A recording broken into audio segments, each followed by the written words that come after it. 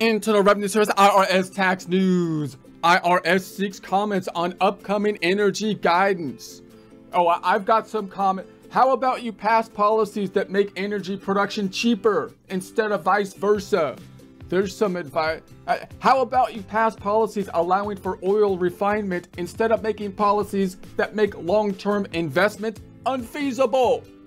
While simultaneously demagoguing American companies for not refining oil. You know, when passing policy designed to increase the cost of energy, how about you don't lie about it? Calling it something like an Inflation Reduction Act or something. I mean, honestly, politicians, I swear. Sometimes I feel like I'd like to stop their greenhouse emissions.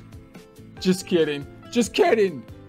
Don't blame me for any naked crazy person in San Francisco attacking some politician with a hammer or anything. It's like, breaking news! The crazy person was incentivized by an online accountant calling for politicians' greenhouse gases to be turned off permanently, which led directly to this heinous act. Dots connected. It's like, uh, no, no, uh, the dots aren't connected. You spilled a bunch of coffee on the map and then called them dots. You have to distinguish between the data dots and the coffee dots, you dolts. Or possibly get a new map if you want to come to any kind of like logical conclusion. Honestly, like what do these people learn in journalism school these days? I swear, any case, first joke. According to Nancy Pelosi, our economic problems aren't due to inflation, but rather are caused by the increase in the cost of stuff. It's not, the fight is not about inflation, it's about the cost of living. Is it? Obviously, you're not a golfer. And it's like, excuse me, but isn't the cost of living going up because of inflation?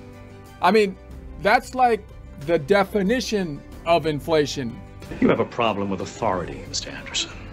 You believe that you are special, that somehow the rules do not apply to you. Obviously, you are mistaken. I mean, what is going on with people these honestly, that's like saying vomiting isn't the problem.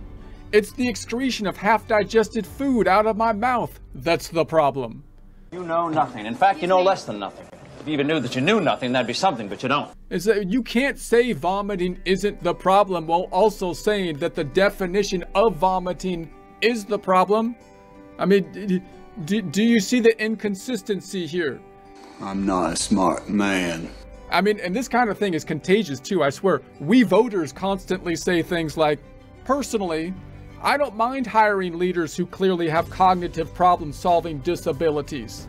When I first saw you, I thought you were handsome. But I do hate it when our leaders can't cognitively solve problems. Then, of course, you spoke. It's like, well, then don't hire the dude with the problem solving problems. I mean, it's not compassionate to put him in a position where he needs to solve problems when he doesn't have the capacity to do so. Please